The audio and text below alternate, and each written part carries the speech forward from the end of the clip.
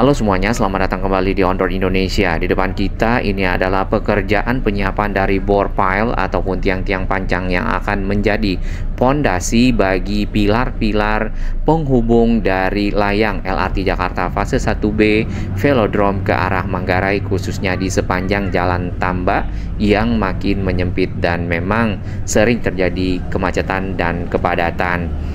Anggaran yang dipersiapkan untuk pembuatan LRT Jakarta fase 1B ya dari APBD DKI adalah 5,5 triliun dengan panjang uh, jalur adalah 6,4 km.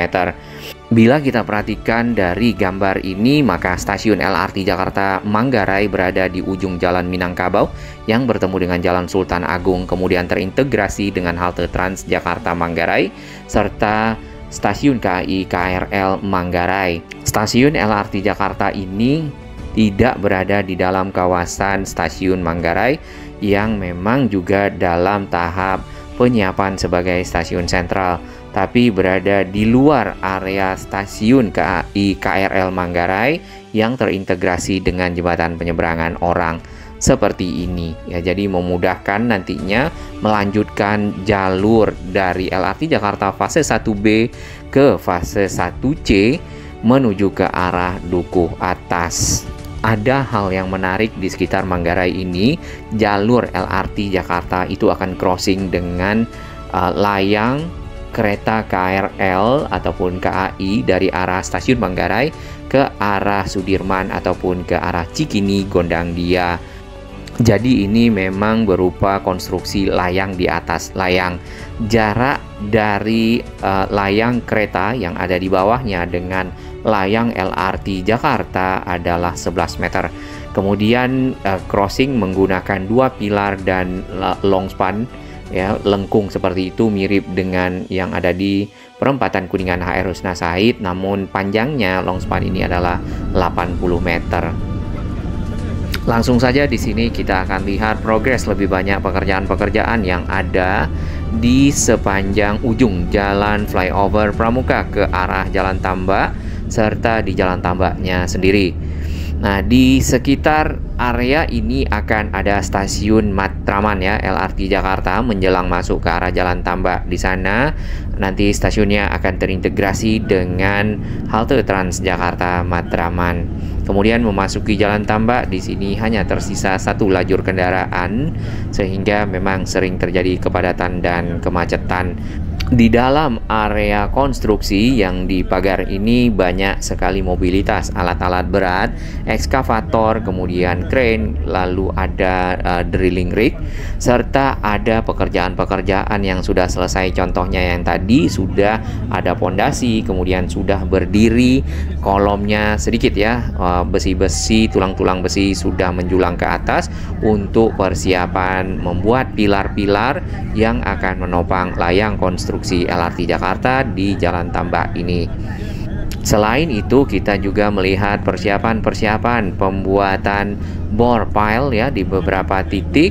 Kemudian ada fabrikasi dari tulang-tulang besi seperti ini membentuk lingkaran nantinya akan dimasukkan ke dalam lubang yang sudah dipasang casing ataupun besi uh, tabung besi bulat yang kosong dan nantinya akan digali terlebih dahulu lalu dimasukkanlah fabrikasi tersebut atau tulang-tulang besi sehingga dicor. Kemudian di atasnya siap menjadi pilar-pilar ya ataupun kolom yang menopang layang LRT Jakarta Makin ke ujung ke arah pintu air Manggarai di sini median jalannya hanya dibatasi sedikit oleh batu-batu kanstin. Kita belum tahu posisi dari tiang kemungkinan berada di dalam area ke arah pintu air Manggarai sehingga di bagian atas akan terhubung dengan uh, bentang panjang saja mungkin berupa girder. Nah, di atas ini nanti akan crossing dengan layang kereta yang dari arah Manggarai ke arah Cikini Gondang Dia atau juga ke arah Sudirman Duku Atas. Sebelum kita lanjutkan ke arah stasiun Manggarai serta progres pembangunannya di sana di dekat area Jalan Minangkabau, kita melihat terlebih dahulu uh, halte Transjakarta Manggarai. Kemudian satu lagi adalah uh, terminal ya, terminal bis Manggarai. Dahulunya terminal Manggarai ini ya dipergunakan untuk um, Kopaja 66 jurusan Manggarai Blok M kalau tidak salah lalu Pasar Minggu Manggarai. Metro Mini ya. Sekarang sudah tidak ada digantikan dengan Transjakarta dan paling banyak aktivitas penumpang naik turun adalah di sini. Untuk yang terminal Manggarai kita belum lihat ada uh, bis ataupun kendaraan lain yang berhenti di sana Halte Transjakarta Manggarai ini akan terintegrasi dengan stasiun LRT Jakarta Manggarai berarti akan ada JPO ke arah sana ke arah stasiun LRT Manggarai. Kemudian halte Transjakarta ini juga terintegrasi dengan uh, terminal Manggarai ini serta stasiun KAI KRL Manggarai. Jadi JPO-nya akan membentang dari sini mungkin lewat di pinggir jalan atau di tengah jalan kita belum tahu ke arah ujung pertemuan titik Jalan Minangkabau dan juga Jalan Sultan Agung. Walaupun setelahnya yang kita harapkan adalah dilanjutkan ke arah Duku Atas ya di mana akan terintegrasi dengan uh, stasiun LRT Jabodebek, stasiun KAI KRL uh, Sudirman dan stasiun MRT Jakarta. Kita akan lanjutkan langsung ke arah area halte Transjakarta Pasar Rumput. Menjelang halte ini dari arah uh, persimpangan tadi ya, Jalan Minangkabau dan Jalan Sultan Agung ini sudah ditutup lajur khusus uh, busway ataupun Transjakarta karena akan dipakai untuk pembangunan dari uh, jalur LRT Jakarta fase 1B mungkin di sini hanya ujung jalurnya kemudian stasiunnya ada di pertigaan Jalan Minangkabau ya. biasanya ujung dari jalur ini dipergunakan untuk manuver kereta balik ke arah velodrome menggunakan trek yang berbeda Meski yang kita lihat ya dari pasar rumput ini ke arah Duku Atas itu sebenarnya tidak begitu jauh fase 1C sehingga para penumpang LRT Jakarta tidak turun di Manggarai ya, kemudian naik lagi angkutan lainnya. Baik, arah sebaliknya dari halte Transjakarta, di sini kita masuk kembali di bawah dari layang kereta, viaduknya dan juga ada layang kereta nantinya di bagian atas um, area ini memang area yang cukup padat dan stasiun Manggarai sendiri akan menjadi stasiun sentral. Mudah-mudahan dapat dilakukan penataan di kawasan ini, Jalan Manggarai Utara dan jalan-jalan yang ada di sekitar uh, sisi timur stasiun KAI KRL Manggarai. Kita kembali melewati jalan tambak namun dari arah Manggarai menuju ke arah uh, ujung pertemuan dengan flyover Pramuka.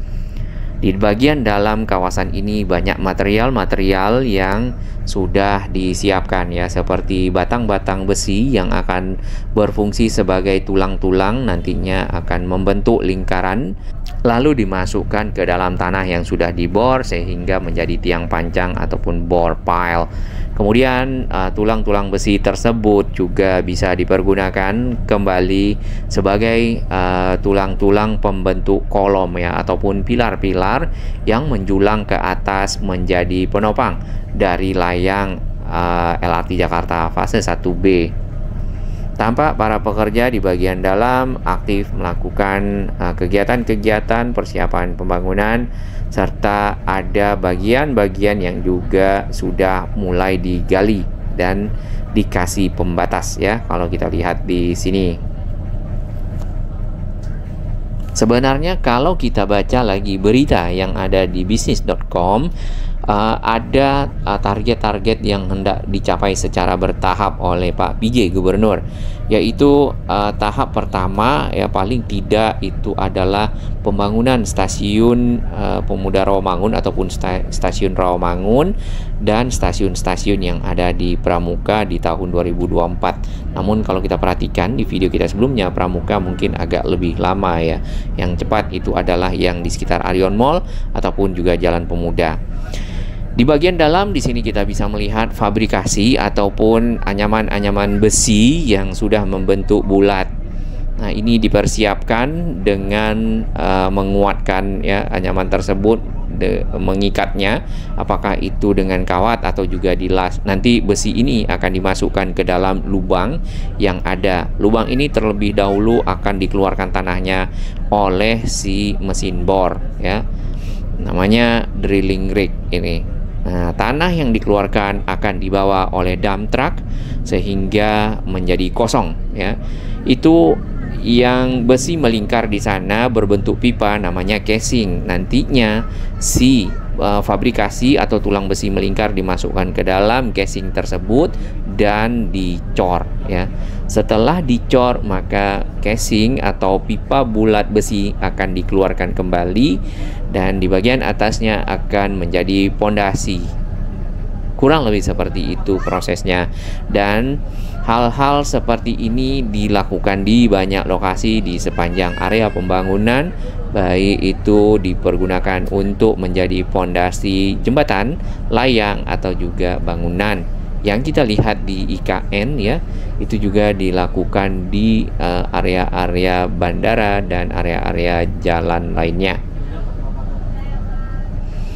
Tampak di sini ekskavator ya memindahkan tanah-tanah yang ada karena hasil galian dari drilling dan casing tadi yang besi bulat dimasukkan itu dikeluarkan ke atas menggunakan mesin bor ini. Tanahnya dibawa oleh uh, truk ya. Lalu dimulailah pengecoran. Kurang lebih prosesnya sama seperti ini dan kita jumpai di banyak lokasi di sepanjang proyek LRT Jakarta fase 1B.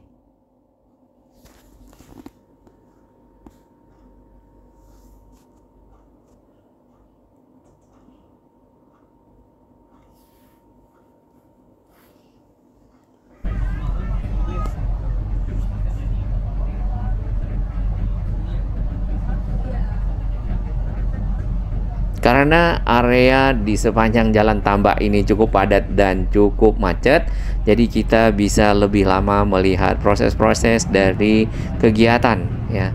Penyiapan uh, bore pile, kemudian juga kita melihat adanya loading tanah yang sudah digali ke truk dan para pekerja yang aktif merakit dari uh, tulang-tulang uh, besi, fabrikasi atau juga mobilitas uh, mobilisasi alat-alat berat di sepanjang area.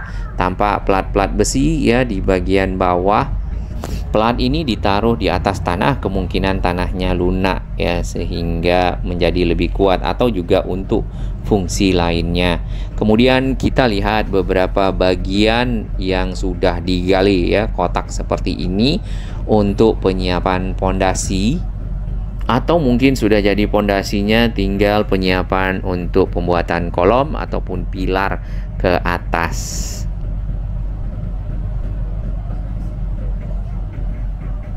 Bila kita perhatikan lapisan dari tanah yaitu ada lapisan aspal, lapisan beton dan tanah di bagian bawah. Tanahnya adalah tanah warna merah ya. Satu ekskavator di sini disiagakan untuk keperluan uh, pengerukan. Kemudian biasanya akan datang lagi truk untuk membawa hasil kerukan keluar dari area konstruksi. Di sini kita juga bisa melihat ada material uh, sheet pile baja yang ada di Jalan Pemuda. Sheet pile sheet pile baja dipasang di uh, segi empat yang dikeruk ya di sana untuk persiapan pondasi. Nampaknya untuk menahan tanah yang ada di pinggirnya ya tidak uh, runtuh ke area pondasi yang disiapkan sebagai uh, penopang kolom ya ataupun tiang-tiang. Nampaknya ada beton-beton uh, bekas dari bore pile ini yang dibongkar ya.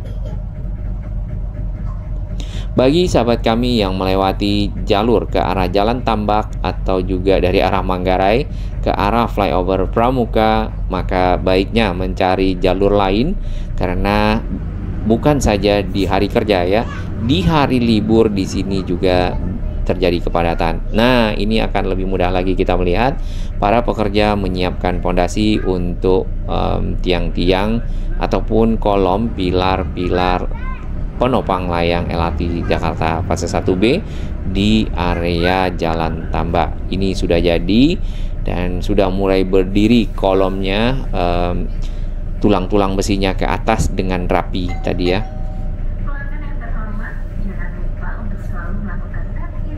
Kalau kita lihat ekskavator yang ini ya, kita ingat ekskavator Vibro yang ada di um, sodetan Kali Ciliwung di bagian inlet.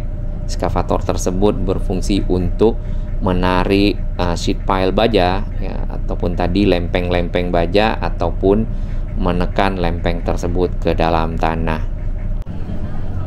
Kita lanjutkan perjalanan ke arah Pasar Pramuka dari arah flyover Matraman dan flyover Pramuka. Di sini kita melihat bagian dalam dari area konstruksi juga sudah banyak uh, tulang-tulang besi yang dianyam ataupun fabrikasi yang berupa lingkaran serta ada satu mesin drilling rig yang bersiap untuk pekerjaan bore pile ya. Lalu ada casing sedikit kita lihat di bagian sana. Ini berada di depan pasar uh, burung pramuka.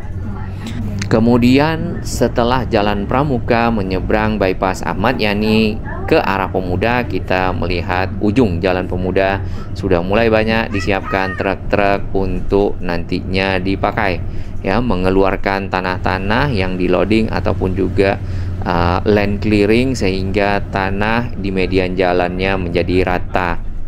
Walaupun masih ada pepohonan, namun di beberapa bagian ke arah uh, rawa mangun di sini sudah rata dan sudah mulai banyak material-material di bagian dalam area konstruksi yang paling banyak kita lihat di sini adalah tulang-tulang besi yang dipersiapkan untuk keperluan bore pile ya ataupun dilanjutkan dengan keperluan pembuatan kolom. Mengapa begitu penting untuk bisa dilanjutkan LRT Jakarta sampai ke Duku Atas. Nah, sebenarnya rencana awalnya memang seperti itu dari arah Velodrome sampai ke Duku Atas melewati Manggarai. Di sini LRT Jakarta akan bertemu dengan LRT Jabodebek serta MRT Jakarta. Lalu ada juga stasiun KAI KRL Sudirman serta halte Trans Jakarta Duku Atas 2 ya yang terhubung dengan halte Transjakarta Duku Atas 1. Hanya saja di sini belum ada JPM ataupun jembatan penyeberangan uh, multiguna. Nah, rencana besarnya ini adalah kawasan transit oriented development yang dahulu sempat kita lihat ada sebuah bangunan besar yang menghubungkan ke semua moda transportasi. Stasiun LRT Jakarta Duku Atas sendiri berada di samping dari gedung landmark yang kembar ini nih. Jalur keseluruhan dari LRT Jakarta kita ulang lagi di sini ya. Untuk yang existing ataupun yang sudah ada adalah Pegangsaan 2 ke arah Velodrome dengan panjang 5,8 km memiliki uh, 6 stasiun ya. Kemudian dilanjutkan dengan fase 1B dari arah Velodrome ke arah Manggarai dan ada 5 stasiun. Lalu sebenarnya ada pencabangan ke arah stasiun kereta cepat Jakarta Bandung Halim melewati Pulau Gadung, Jayakarta Klender ya, pahlawan revolusi Pondok Bambu, Kalimalang, stasiun kereta cepat. Bahkan ada lagi kelanjutannya sebenarnya yang kita harapkan tadi dari Manggarai ke Duku Atas. Dari Duku Atas sendiri itu ada ke Jakarta Barat, lalu ada ke Jakarta Utara dan kembali ke arah Pegangsaan 2. Satu lagi area yang dihindari adalah menyempitnya jalan dari arah Matraman yang berbelok ke arah flyover Pramuka menuju ke arah Jalan Tambak di ujung tadi ya di sebelum area ini menyisakan satu lajur saja sehingga kendaraan benar-benar bergantian untuk melewatinya tentunya akan sangat-sangat padat terutama pada saat berangkat kerja. Jalan ini sudah dilengkapi dengan trotoar yang cukup baik ya di uh, bagian kiri dan ini pengerjaan trotoarnya dibarengi dengan pengerjaan trotoar di sepanjang Jalan Matraman Raya, baik sisi barat dan sisi timur.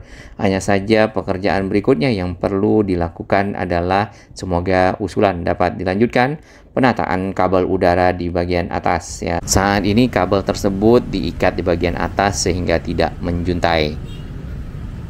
Di depan kita ini adalah uh, jembatan penghubung ya ataupun JPO yang mengintegrasikan stasiun akhir LRT Jakarta saat ini fase 1 yang awal uh, stasiun Velodrome dengan halte Transjakarta Pemuda Rawamangun. Jadi para penumpang LRT Jakarta selama ini apabila mereka ingin ke pusat kota Jakarta maka akan ke uh, halte Transjakarta tersebut terlebih dahulu dan pindah moda transportasi menggunakan Transjakarta ataupun BRT menuju ke pusat kota sesuai dengan tujuan-tujuan yang diinginkan. Kita doakan para pekerja uh, satker dari LRT Jakarta, uh, tim Jakpro serta pihak-pihak uh, terkait dapat diberikan kelancaran dan kemudahan dalam proses pembangunan yang tentunya kita harapkan sangat bermanfaat bagi masyarakat untuk mobilitas dari utara kota Jakarta ke pusat kota.